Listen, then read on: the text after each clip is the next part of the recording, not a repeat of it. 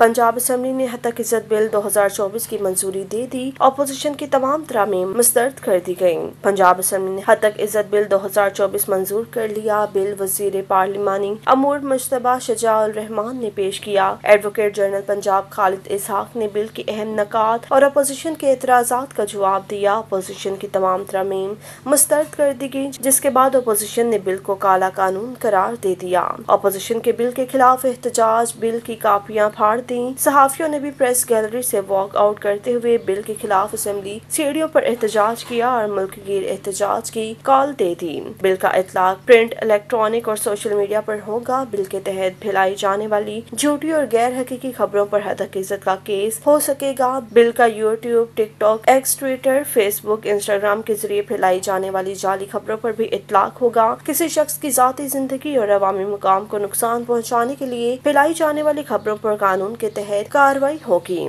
हतक इज़्ज़त के केसेस के लिए खसूसी ट्रिब्यूनल्स कायम होंगे, जो छह माह में फैसला करने के पाबंद होंगे। बिल के तहत तीस लाख रुपए का हरजाना होगा। आईनी अहदों पर मौजूद शख्सियात के खिलाफ इल्ज़ाम की सूरत में हाई कोर्ट के बेंच के सुनने के मजाज होंगे। खातन और खवाजा सिराओं के लिए, केस के लिए, कानूनी मामत के लिए हुकूमती लीगल टीम की सहूलत में असर होगी। हुकूमत सहाफती तंजीमों की बिल मोखर करने की तजवीज मुस्तरद कर दी। सहाफती तंजीमों ने आज वज़ीर इतलात पंजाब से मुलाकात मुलाकात में बिल कुछ रोज मौखर करने का मुतालबा किया था। सराय का कहना है की बिल बारे सहाफती तनजीमें अपनी तजावीज देना चाहती है। अपोजिशन ने भी हद तक इज़्ज़त बिल को मुस्तरद कर दिया। अपोजिशन ने बिल बारे दस ऐसी जायद रामीन पंजाब असम्बली में जमा करवा दी।